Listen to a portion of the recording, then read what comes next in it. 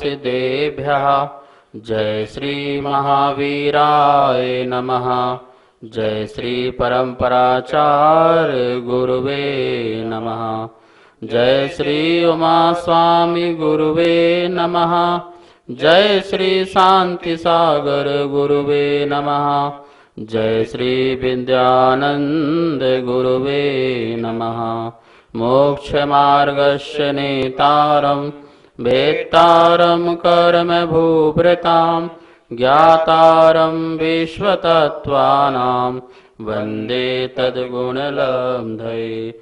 मङ्गलं भगवान् वीरो, मङ्गलं गौतमो गणि, मङ्गलं कुन्दकुन्दार्यो जैन धर्मोऽस्तु मङ्गलम्। तत्वाशुत परम मांगलिक ग्रंथ है, आचार्य कुंद कुंद के पट्ट शिष्य आचार्य उमा स्वामी द्वारा यह विक्रम की प्रथम शताब्दी में लिखा गया। सूत्रात्मक शैली है, संस्कृत इसकी भाषा है, दस अध्याय विभाजित है, सात तत्वों का वर्णन है। महानुभाव तत्वारशुद्ध जो ग्रंथ है, एक महान ग्रंथ है। जैन धर्म में यदि किसी को धर्म सच्चा सीखना है तो उसे तत्वारशु ज़रूर पढ़ना चाहिए। इस तत्वार्थ सूत्र के पढ़ने से उसे सच्चे तत्व का ज्ञान होता है और सच्चे तत्व से ही उसका मोक्ष मार्ग प्रारंभ होता है। देखिए, तत्वों का जब तक ज्ञान नहीं होगा, अभी तो हम जो हैं, अपने जीवन को जी रहे हैं, पर क्यों जीना चाहिए ये पता नहीं है।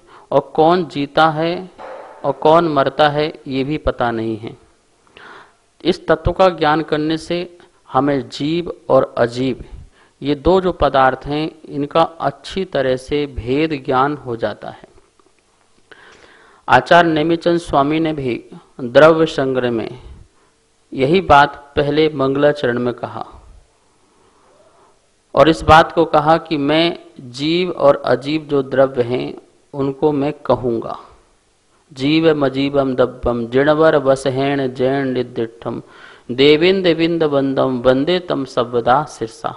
क्या सुंदर बात कही कि जीव और अजीब यही दो द्रव्य हैं और इन दो द्रव्यों की हमारी उल्टी मान्यता के कारण संसार है। और हमारी मान्यता सीधी हो जाए, सम्यक हो जाए तो संसार से हम विदा हो जाएँ। आचार्य पूज्यपा स्वामी ने भी इष्टोपदेश में यही कथन कहा, जीवो अन्य पुद्गलश्चान्य बोले, समस्त सौ बात की एक बात यही है कि जीव अन्न है और पुद्गल अन्न है। ये बात समझाने वाली बात है।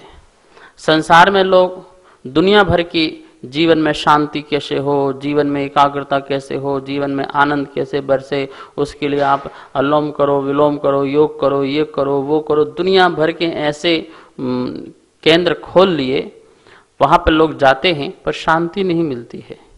महानुभाव तत्व का ज्ञान बिना किसी को शांति नहीं मिल सकती है। किसी को भी आनंद की प्राप्ति नहीं हो सकती है। इसलिए तत्व का ज्ञान तत्वार सूत्र में भरा हुआ है। उमा स्वामी की सबसे छोटी पुस्तक है ये तत्वार सूत्र। कितनी? सात आठ पेज की पुस्तक होगी बस। सात आठ पेज की और क्या? सूत्र कितने लिखे? सूत्र कितने हैं? तीन सौ कुछ सूत्र तो हैं। और इतने से सूत्र पाँच छः सात पेज में आ जाएँगे। पाँच छः सात पेज की पुस्तक है। लेकिन इन सूत्रों में इतना गहन अर्थ भरा हुआ है कि बड़े बड़े धुरंधर आचार्यों ने इस पर टीकाएँ लिखी बड़ी बड़ी टीकाएँ लिखी। अकलंक देव जैसे आचार्य, पूज्यपाद स्वामी जैसे आचार्य, श्लोक वार्तिक के विद्यानंद जी मुनिराज, इन सबने कितनी सुंदर सुंदर बड़ी बड़ी टीकाएँ और इसके बाद तो हिंदी टीकाकार अलग। इन सबने इतना महान विस्तार रूप से वितरण किया है। आप सोच सकते हैं, छोटी सी कृति कितनी बड़ी महान रहस्य को लिए हुए है। ऐसे महान तत्वार सूत्र को हम सब लोगों को बहुत ही पुरुषार्थ पूर्वक पढ़ना चाहिए। हम सब लोग तत्वार सूत्र में जो आठवां अध्याय है, उसका जो पहला जो सूत्र है, उसमें हम जान रहे थे बंध के हेतु। मिथ्या दर्शन अवृति प्रमाद, कषाय और योग, ये पाँच जो प्रत्यय हैं, कारण हैं, हेतु हैं, निमित्त हैं, किस चीज़ के? कर्म बंध के। आत्मा के साथ कर्मों का जो बंधन है, उसमें ये निमित्त बनते हैं। पहले भगवान ने निमित्त की चर्चा करी। अब अगले सूत्र में, बंध किसे कहते हैं, इसकी बात कह रहे हैं। पहले बंध के हेतु बता दिए, अब बंध का स्वरूप बता रहे हैं कि बंध है क्या? किस चीज़ से बंध होता है आत्मा का? तो उसकी चर्चा यहाँ पर सूत्र में करेंगे। सूत्र नंबर दूसरा है। आइए सब लोग अपनी जिनवाणी में निकाल लेंगे। आठवें अध्याय का दूसरा नंबर का सूत्र उसका पहले अपन उच्चारण करते हैं। सा कसायत्वाज। सा कसायत्वात् जीवः जीवः कर्मणो कर्मणो योग्यान योग्यान् पुद्गला उद्गलान् ना दत्ते ना दत्ते सा बंध सा बन्धः। एक बार पुनः सा कसायत्वाद जीवः सा कसायत्वात् जीवः कर्मणो कर्मणो योग्यान योग्यान् पुद्गला ना दत्ते उद्गला न दत्ते सा बंध सा बन्धः। इस प्रकार से बोर्ड के माध्यम से हम इसका उच्चारण और संधि विच्छेद और अर्थ भी समझते हैं। अष्टम अध्याय का सूत नंबर दूसरा है। सा कषायत्वाज जीवा कर्मणो योग्यान पुद्गला ना दत्ते सा बंधा इस प्रकार से ये सूत का उच्चारण हुआ। अब इसका संधि विच्छेद करना है। तो कैसे करेंगे? सा कसायत्वात ये जा, का, ता हो जाएगा। जा, का, ता हो जाएगा प्लस जीवहा ये कर्मणों का कर्मण, फिर योग्यान फिर पुदगलान, ये नातक आएगा, ना हलंत हो जाएगा, इससे निकलेगा आदत्ते, सहा, यहाँ विसर्ग का लोप हो गया तो सहा, बंदा। देखिए कैसे संधि विच्छेद करेंगे। देखिए यहाँ पर संधि विच्छेद, सा कषायत्वाद जाकता हो गया ना? प्लस जीव। कर्मणो था, कर्मण। विसर्ग हो गया। योग्यान, ये तो ऐसे ही था। फिर पुद्गलान। पुद्गलान, नाकालंत हो गया, इससे निकला आदत्ते। आदत्ते। सहा बंधा। इस प्रकार से इस सूत्र का ये संधि विच्छेद है। अर्थ क्या निकलेगा? सा कसायत्वाद सा मतलब सहित। सा का अर्थ है? सहित। किससे सहित? कसायत्वाद। कसाय पने से सहित होने पर। ये त्वा प्रत्यय लग जाता है तो पने अर्थ में कहलाता है पने या उसमय।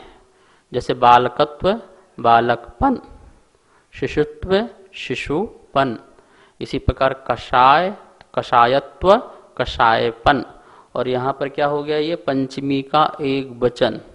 तो क्या अर्थ निकलेगा? सा कषायत्वाद मतलब कसाय से, कसायपना से सहित होने पर। कौन सहित होने पर? जीवहा, जीव। जीव कसायपन से सहित होने पर कर्मण। क्या लिखा हुआ है? कर्मण, कर्म के। ये है षष्टी का एक वचन। कर्मण कहाँ पर है? षष्टी के एक वचन पर। कर्मण कर्म के योग्यान योग। कर्म के योग। पुदगलान, ये दोनों देखो, ये जो हैं, द्वितीय का बहुवचन और ये भी द्वितीय का बहुवचन है, जैसे बालकान, ठीक है? द्वितीय में बहुवचन में योग्यान और यहाँ पुद्गलान। तो ये पुद्गल का विशेषण है योग्य पुद्गल तो हैं, पर कौन से पुद्गल चाहिए यहाँ पर? जो कर्म बन सके। जो कर्म बन सके, ऐसे पुद्गल। इसलिए यहाँ पे लिखा योग पुद्गलान पुद्गलों को।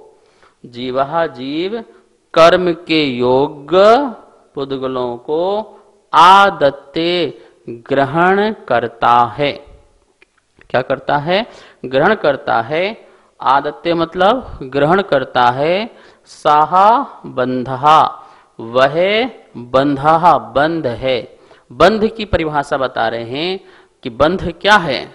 तो कह रहे हैं, कसाय पन से सहित जीव के कर्मण कर्म के योग।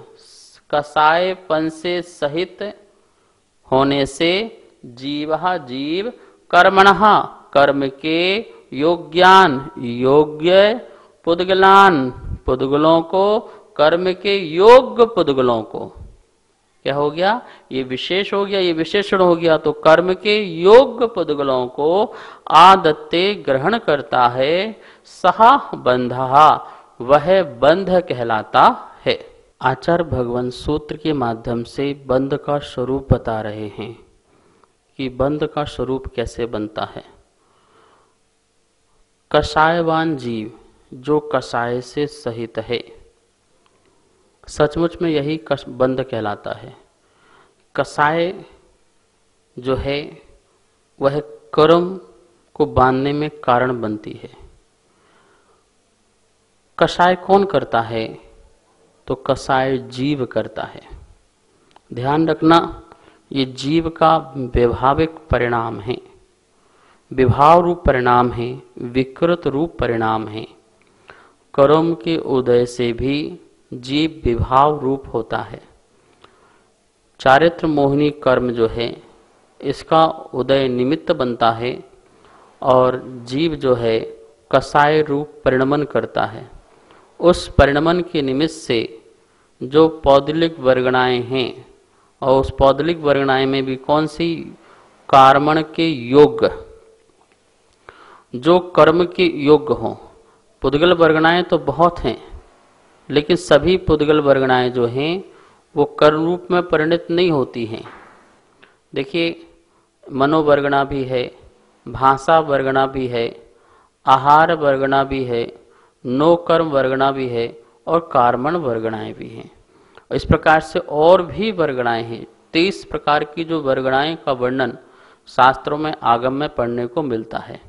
लेकिन अभी यहाँ पर महत्वपूर्ण बात चल रही है कि कर्म नो कर्म जो आत्मा के साथ बन जाते हैं, उनकी बात चल रही है।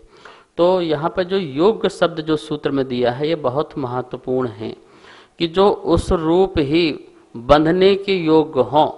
ऐसा नहीं कि कोई सी भी चीज़ हो और आत्मा से बन जाए।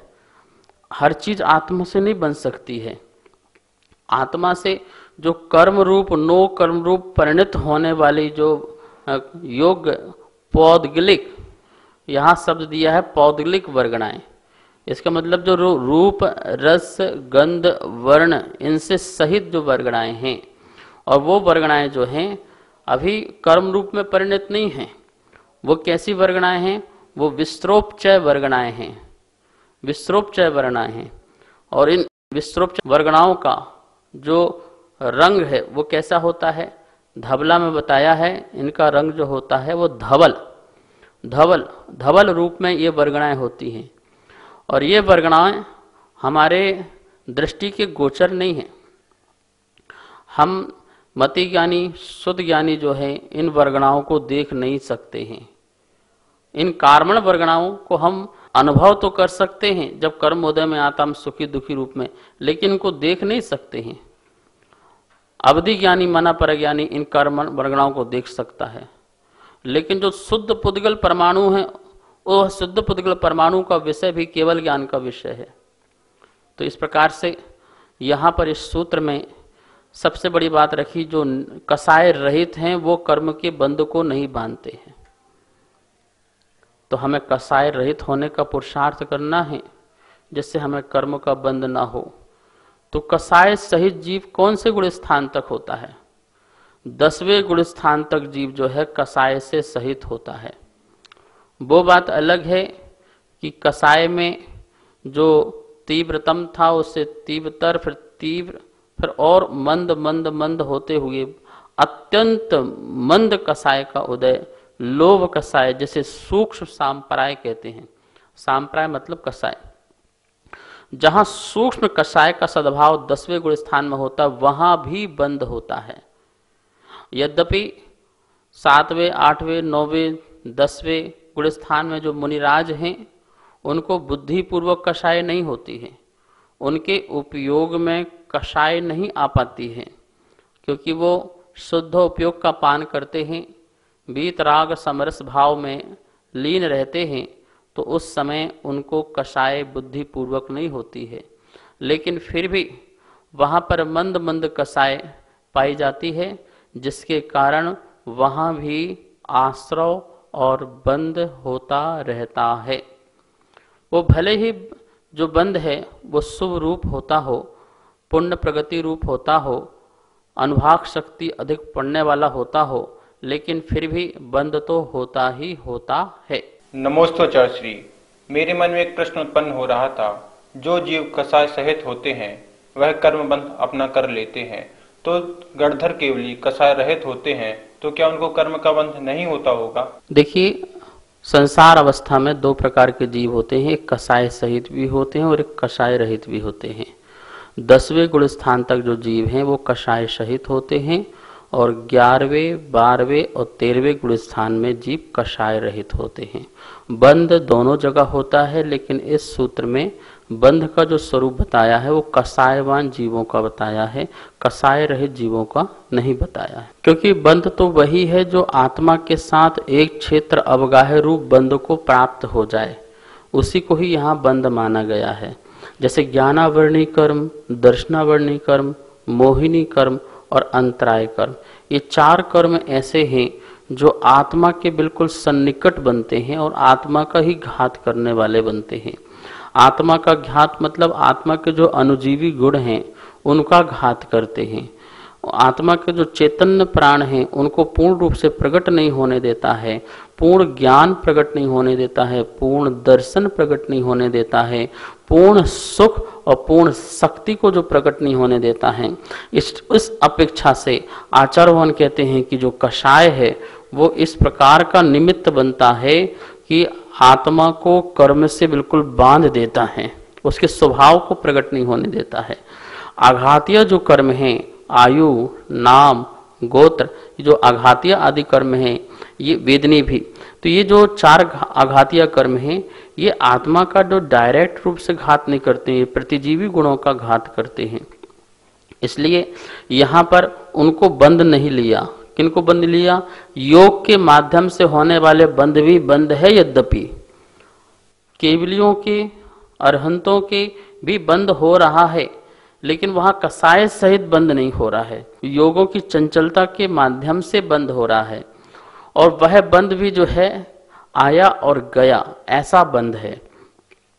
कसाय की तीव्र मंद मंदतर तीव्र तीव्र तीव्रतम ऐसे परिणाम होने से जो बंद होता है, वो अधिक समय तक के लिए बंद हो जाता है और उसका फल भी, अनुभाग शक्ति भी बढ़ती है। लेकिन यहाँ पर जो योग के माध्यम से, तीर्थंकर आदि को जो योग के माध्यम से बंद हो रहा है, वह बंद जो है, स्थिति और अनुभाग इस प्रकार के बंद को प्राप्त नहीं हो पा रहा है। कर्म आया और गया। जैसे नो कर्म वर्गणाएँ, केवली के जो शरीर संबंधी नो कर्म वर्गणाएँ आती हैं, उनको नो कर्मा आहार भी कहते हैं। इस प्रकार के वो कर्म वर्गणाएँ आए और वो निर्जीर्ण को भी प्राप्त हो जाते हैं। तो इसलिए आचार्य भगवान ने सूत्र के माध्यम से बंध की परिभाषा बनाते समय यह बिल्कुल स्पष्ट कहा कि जो साकसायवान जीव हैं, उन जीवों के कर्म के योग्य जो पुद्गल परमाणु ग्रहण किए जाते हैं जीव के द्वारा, वही बंद है ग्रहण। आदत्य जो शब्द है, इसे जरा पकड़ना। आदत्य मतलब ग्रहण। अब देखिए, योग में ग्रहण नहीं कर रहे हैं। ग्रहण हो और रहे तो बात बने। यहाँ तो बिल्कुल ग्रहण ही कर लिया है। ये पकड़ ही लिया है जैसे। ऐसे ही कसायवान जीव ने कर्म को पकड़ लिया है। आत्मा की में कितनी लेयर चढ़ गई है कर्म की। वो इस प्रकार से आदत्य शब्द को यहाँ पर ग्रहण करना है। तो जो उनको ग्रहण करता है योग पदगुलों को, कर्म के योग पदगुलों को, उसे ही यहाँ पर बंध का स्वरूप समझना। यहाँ देखिए लिखा हुआ है, बंध क्या है? बहुत सुंदर यहाँ पे लिखा हुआ है, सूत्र के माध्यम से ही, बंध क्या है? तो क्या हो रहा है, यही बंध है। कुछ हो रहा है, कुछ हो रहा है, वही बंध है। जहाँ कुछ नहीं हो रहा, वहाँ बंद नहीं है। केवली को कुछ नहीं हो रहा है, इसलिए बंद नहीं है। जहाँ पर आत्मा में हलचल मच जाए, बेचैनी हो जाए मतलब कुछ भी कषाय के माध्यम से तो कुछ हो रहा है, उसे बंद कहा है। तो क्या हो रहा है? इसका नाम है बंध। किसका हो रहा है? यहाँ क्वेश्चन खड़े किए गए हैं। उन, इस सूत्र के माध्यम से क्वेश्चन खड़े किए गए हैं। क्या हो रहा है? बंद हो रहा है किसका हो रहा है योग कार्मण वर्गणाओं का मतलब जैसे पुद्गल शब्द कहते हैं ठीक है ना तो जो योग कार्मण वर्गणाएँ हैं उनका क्या हो रहा है बंद हो रहा है किसे बंद हो रहा है देखो किसका बंद हो रहा है और किसे बंद हो रहा है किसका हो रहा है किसका हो रहा है योग के कार्मण वर्गणाओं का बंद हो रहा है ठीक है ना? किसे हो रहा है? किसे हो रहा है? जीव को हो रहा है। मतलब जीव जो है, उसको ही क्या हो रहा है? बंद हो रहा है। कौन सा जीव? किसे हो रहा है तो कौन सा जीव में लगाना है? कसाय सहित जीव को, अर्थात सांसारी में मूर्तिक जीव को। यहाँ पे मूर्तिक शब्द बोला गया है। संसारी जीव और मूर्ति, जीव तो अमूर्तिक होता है। फिर मूर्ति की बात क्यों कही? भैया, कथनचित यह जीव भी अपने अमूर्तिक स्वभाव से च्युत होता है। जब तक वो अपने अमूर्तिक स्वभाव से च्युत ना हो, तब तक वो कर्म से बंध को प्राप्त नहीं हो सकता है। ये आकाश अमूर्तिक है, कोई बंध को प्राप्त होता है? धर्म, अधर्म काल द्रव अमूर्तिक हैं, कभी बंध को प्राप्त होते हैं, कभी नहीं होते हैं, क्योंकि ये अपने अमूर्तिक स्वभाव से च्युत नहीं होते हैं। दो ही द्रव्य ऐसी हैं जो विकार रूप हो सकती हैं, एक पुद्गल और दूसरा जीव। तो जीव भी अपने अमूर्तिक स्वभाव से कथनचित च्युत होता है, मूर्तिक स्वभाव में आता है, तभी वह कर्म से, शरीर से नो कर्म से बंध जाता है। इस शरीर से बंध गया, कर्म से बंध गया तो इसलिए यहाँ पर स्पष्ट खुलासा किया सा कसाय सहित मतलब कसाय सहित जीव को, जो संसारी मूर्तिक जीव को क्या है, इसका बंद होता है। कब से बंद है, ये प्रश्न भी खड़ा होता है। कब से बंद है भाई? तो इस जीव के लिए अनादि से बंद है। अनादि से बंद है? अनादि। अनादि मतलब कितने भाव, जिसकी कोई गिनती नहीं हो सकती है। अनादि काल से हम कर्म से बंधे हुए हैं।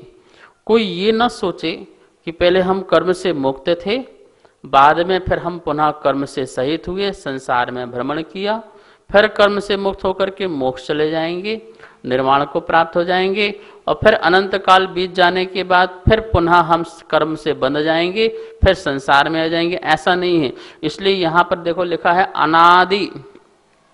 अनादि से मतलब इसकी संतति परंपरा जो है वो अनादि से है कर्म बंध की जीव की। और एक बार जब बंध का अभाव हो जाए, कर्म का आना बंद हो जाए, जीव से कर्म मुक्त हो जाए, फिर ये कभी भी अनंता अनंत काल, ऐसे अनंता अनंत काल बीत जाएँ। तब भी वह पुनः कर्म को बंद नहीं बांधता है, क्योंकि कर्म बांधने के जो निमित्त थे, मिथ्या दर्शन अवृति प्रमाद, कषाय और योग, इनका समाप्त हो गया।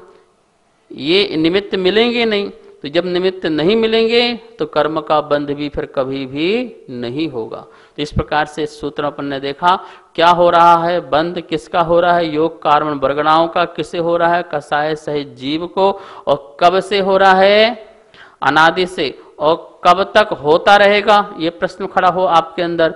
तो भैया, जब तक यह जीव पुरुषार्थ करके आत्म ध्यान साधना नहीं करता है, जब तक यह जीव जो है अपना ध्यान नहीं करता है, तत्व का निर्णय नहीं करता है, जब तक ये रत्नत्रय को प्रकट नहीं करता है, समता भाव, वीत राग भाव में जाता नहीं है, तब तक इसका कर्म का बंध बनता रहेगा। इस सूत्र के माध्यम से हमको ये शिक्षा मिलती है कि हमें कषाय नहीं करना है, कषायों को कम करना है, कम करते करते करते कषायों का अभाव करना है और हमें इस अनादि के चक्र से निकल करके अब परमानेंट कर्म मुक्त होकर के सुखी होना है, मुक्ति को प्राप्त करना है, अपने आत्म ध्यान आदि से। इस प्रकार से आज यहाँ पर यह सूत्र हमने समझा, इसकी शेष चर्चा कल करेंगे। आइए अब माँ जनवाणी की स्तुति करते हैं। जावाणी के ज्ञान से सूझे लोकालोक सो वाणी मस्तक धरो सदा दे तो ढोक। हे जिन वाणी भारती तो जपो दिन रे। जो तेरी शरणा धरे सो पावे सुख चैन। सभी को बहुत बहुत मंगल आशीर्वाद सभी को सादर जैजनेम आप सभी के सहयोग से तत्वार सूत्र जी की पुस्तकें निरंतर छपती जा रही हैं। तत्वार सूत्र जी की पाँचवें अध्याय की पुस्तक छप के आ चुकी है तथा छठे अध्याय की पुस्तकें छपवाने में आप अपना सहयोग दे सकते हैं। आप सभी जैन पाठशाला का आनंद ले रहे हैं तथा ज्ञानार्जन कर रहे हैं। जैन पाठशाला निरंतर इसी प्रकार चलती रहे। इसके लिए आप जैन पाठशाला के पुण्यार्जक बन सकते हैं। एक महीने के लिए, तीन महीने के लिए, छह महीने के लिए अथवा एक वर्ष के लिए। आपके नाम तथा फ़ोटो पारस चैनल के माध्यम से प्रसारित किए जाएँगे। आप नीचे दिए गए नंबर पर संपर्क करें। जय जैजनेन मैं आरती जैन।